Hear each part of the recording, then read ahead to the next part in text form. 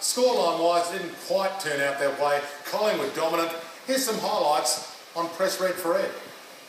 Vickery the two ruckman. Edwards tries to get it out. Here goes Lynch again. He gets the forward break for Collingwood. Clark! Ah, jumped again, 10 metres, got it. For three in a row from 45 directly in front. Travis Cloke comes in. Nice. Second off for Collingwood.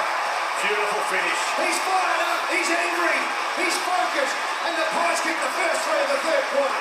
Big Trav. Come on, big so fella. There it is. Right post bending back and bending back. And right through the middle. If you don't mind.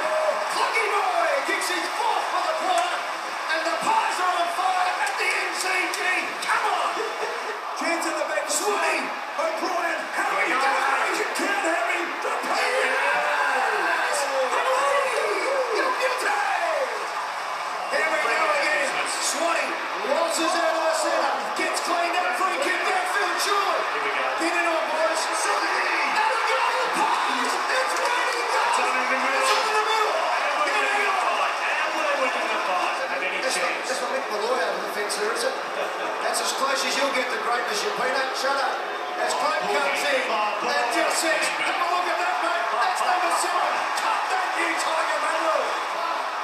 deserves a goal, gets it over, pin the ring, in you go, Sammy.